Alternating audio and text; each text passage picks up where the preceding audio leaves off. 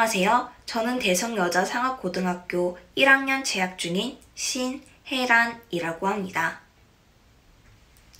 여러분, 코로나에 대해서 잘 알고 계시죠? 올 연초 발생한 코로나19, 이 바이러스는 아직도 뜨거운 관심을 받고 있습니다.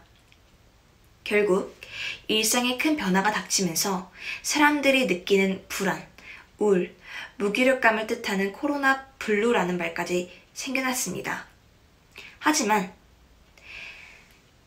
문화체육관광부와 국립국어원은 지난 8월 새말 모임을 통해 제안된 의견을 바탕으로 적절성과 활용성 등을 여러모로 검토해 코로나 블루의 대체어로 코로나 우울을 선택하였고 국민 600여 명 중 절반은 적절하다고 답한 기사를 어느 날 보게 되었습니다. 저는 이 기사를 보고 미술을 지은 뒤 바로 든 생각이 있었습니다. 말은 이렇게 우리의 작은 관심에도 변하기 마련인데 잠시라도 한글에 대해 게을리하다가는 우리말이 영어글에 치여 사라질지도 모른다는 생각이 들었습니다. 사람들은 대부분 자신의 것을 뺏기는 것을 좋아하지 않습니다. 저는 그 자신의 것을 한글이라고 하고 싶습니다. 즉, 한글은 어떤 나라의 그 누구 것도 아닌 한국인이라면 쓰는 자랑스러운 언어이며 우리 것입니다. 한글도 이런 사실을 알고 우리를 향해 바라볼 때 우리는 외래어, 그리고 은어, 비속어 등을 다른 곳을 향해 바라본다면 한글은 얼마나 외로울까요? 자음 모음만 적절히 혼합한다면 어떤 글자도 만들 수 있는 멋진 우리말인 것은 사실이며 장점이지만 이 우리말을 훼손하는 것은 아닙니다. 지금도 늦지 않았다고 생각합니다. 자신이 모르는 순 우리말 단어 뜻을 찾아보며 배우며 한글의 장점을 찾아보고 작은 습관이라도 가지며 우리말에 관심을 가지고 올바른 방법으로 사용하여 우리의 자랑, 한글을 지킬까요? 라고 하는 때가 아닙니다. 지킵시다 라고 할 때이죠. 혹시 순 우리말 중 온세미로라는 말을 아시나요? 가르거나 쪼개지 않고 생김새 그대로, 자연 그대로, 언제나 변함없이라는 뜻을 가졌다고 초등학교 국어 시간에 저는 배웠습니다. 이 예쁜 말처럼 우리 한글도 변함없이 지켜졌으면 좋겠습니다. 한글 사랑합니다. 지키겠습니다. 감사합니다. 안녕하세요. 저는 옥산 초등학교 5학년 2반 박은빈입니다. 여러분은 한글 얼마나 알고 있나요? 자, 그럼 지금부터 제가 문제 하나를 내겠습니다. 무슨 말인지 알아맞혀 보세요. 은빈아, 내 생파에 생선 갖고 올 거지? 음, 이게 무슨 뜻일까요? 1번, 파랑 생선을 가지고 와라. 2번, 생일 파티에 생일 선물을 가지고 와라. 자, 정답은 바로바로 바로 2번입니다.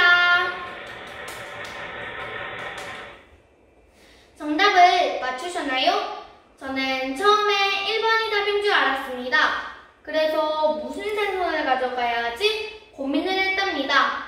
우리 집에서는 줄임말이나 유행어를 잘 사용하지 않기 때문이죠. 그런데 알고 보니 생 파티, 생선은 생일 선물이었습니다. 만약 세종대왕님이 이 말을 들으셨다고 해도 아마 저처럼 생선과 파를 준비하지 않으셨을까요? 이렇게 우리 일상생활에서 한글을 잘못 사용하고 마음대로 사용하는 경우가 너무나 많습니다. 무덤 속에 세종대왕님이 눈물을 흘리실 일이죠. 여러분은 어떠신가요? 우리가 말을 할 때 생파와 같은 줄임말, 비속어, 그리고 영어, 유행어 등이 저도 모르게 쏙쏙쏙 들어가 있을 때가 많을 것입니다. 아마 우리나라 사람들조차 한글이 너무 쉽기 때문에 그냥 별거 없는 무의미한 글자라고 생각하는 것 같습니다. 과연 한글은 쉽고 의미 없는 글자일까요? 오늘 저는 여러분께 한글이 얼마나 위대한지 알려드리고자 합니다. 첫째, 한글은 인류가 사용하는 문자 중에서 만든 사람과 만든 날짜가 정확히 밝혀진 유일한 문자입니다. 한글을 만드신 분은 바로 세종대왕님이시죠. 세종대왕님은 자주, 애민, 시룡의 정신을 담아 1443년 한글을 만드셨고 3년간 시험 끝에 1446년 10월 9일 세상에 반포하셨습니다. 둘째, 한글은 창제 원리가 매우 독창적이고 과학적인 글자입니다. 한글은 발음 기관을 분떡, 자음을 만들고 하늘, 땅, 사람의 생각을 담아 모음을 만들었습니다. 그래서 적은 글자로도 거의 모든 소리를 표현할 수 있고 누구나 배우기 쉽도록 체계적으로 만들어진 글자입니다. 노르스름한 달빛 이 말은 아마 한글만이 표현해낼 수 있겠죠? 그리고 마지막 세 번째는 애민 정신이 깃든 문자입니다. 세종대왕님이 살던 시대는 일반 백성들은 글을 배우지 못했고 그래서 억울한 경우를 당한 경우가 많았습니다. 이러한 역사적 배경은 작년 국어 시간을 통해 알게 되었습니다. 이렇게 차별받고 천대받았던 백성들을 불쌍히 여긴 세종대왕님의 마음이 더 컸기에 많은 어려움 속에서도 이겨낼 수 있었고 한글을 끝까지 완성하실 수 있었습니다. 아마 한글은 여러분도 한글의 위대함에 공감을 하시나요? 곧 574번째 한글날이 다가옵니다. 한글날을 맞이하며 예전과 같이 빨간 날, 노는 날로 생각하실 건가요? 아니죠? 우리를 사랑하신 세종대왕님의 마음을 생각하며 바르고 고운 말을 사용하는 하루를 보내는 건 어떨까요? 한글은 역시 전 세계 1등 문자입니다. 한글 사랑, 나라 사랑, 내가 먼저 올바르게 지금까지 한글에 대한 저의 이야기를 들어주셔서 감사합니다.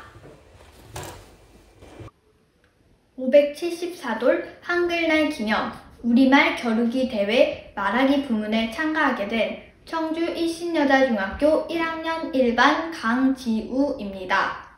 한글날은 조선 초기 세종대왕이 우리의 글자인 훈민정음이 창제되고 반포된 것을 기념하여 정한 날입니다. 지금의 한글날은 1926년 각야날로 정한돼서부터 시작되어 1928년 한글날로 이름을 고치게 되었습니다. 세종대왕 즉위 25년인 1443년 12월에 한글이 아니라 훈민정음으로 불리는 글자가 완성되고 이 글자에 대한 원리를 연구하여 해례를 만들고 용비 어천가와 같은 작품을 통해 글자를 적용시켜 본 후 1446년에 한글이 정식으로 반포되었습니다. 한글은 만든 사람과 만든 원리가 분명한 세계에서 거의 유일한 문자이며 세종대왕과 지편전의 여러 학자들이 힘을 모아 만든 자랑스러운 우리 글이라고 말할 수 있습니다. 그런데 언제부턴가 한글을 접하고 사용하는 우리 사회는 그 고마움을 잊은 채뜻 모를 신조어와 줄임말, 무분별한 외래어 사용 등으로 소중한 한글을 오염시키고 있습니다. 더욱, 더욱이 요즘 유행하는 각종 놀이 문화에는 욕설이 주요 주제가 되고 있는 현실입니다. 최근 욕 애플리케이션이 인기를 끌고 청소년들 사이에서 하나의 문화처럼 자리매김한 욕설 등 비속어 사용 문제는 한글뿐만 아니라 청소년들의 건전한 정신문화까지도 어지럽히고 있습니다. 이처럼 청소년들이 욕을 쓰는 이유는 남들이 다 쓰니까 쓴다는 사람부터 스트레스 해소, 친근감의 표현, 습관 때문이라는 사람까지 다양합니다. 또한 무분별한 외래어의 유입과 줄임말 사용으로 잘 알아들을 수 없는 말들이 많이 등장하고 있습니다. 인터넷 소통의 발달로 생겨난 줄임말은 이미 일상 용어로 사용된 지 오래고 서로 대화를 나누는 사람들 간의 의사소통에 장애를 가져오기도 합니다. 물론 언어는 시대와 문화를 반영하는 것이 당연한 현실이지만 이런 근본도 없이 우후죽순 늘어나는 무분별한 줄이어, 줄임말과 외래어 때문에 우수한 우리 글 한글이 제대로 사용되지 못하고 있는 현실입니다. 더욱이 올해는 코로나19 확산으로 각종 방역 용어들이 난무하면서 순수 우리말이 멍들고 있습니다. 무분별한 언어 혼용이 우려되자 국립국어원은 우리말 대체어를 제공하고 있다고 합니다. 감염자와의 접촉을 통해 전파되는 연쇄적 감염을 일컫는 N차 감염을 연쇄 감염, 연속 감염으로 트윈데믹은 감염병 동시 유행으로 사용할 것을 권장한다고 합니다.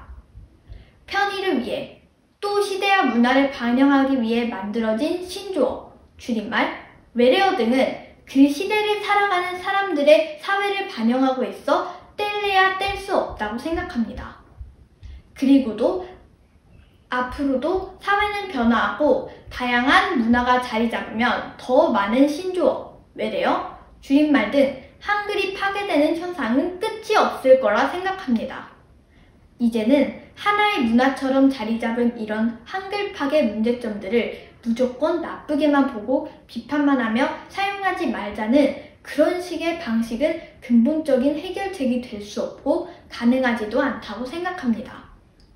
우선 우수한 한글을 창제하기 위해 애쓰신 세종대왕과 여러 학자들의 뜻을 받들어 한글 창제의 의미를 제대로 알고 한글 사랑하는 마음을 되새겨야 한다고 생각합니다.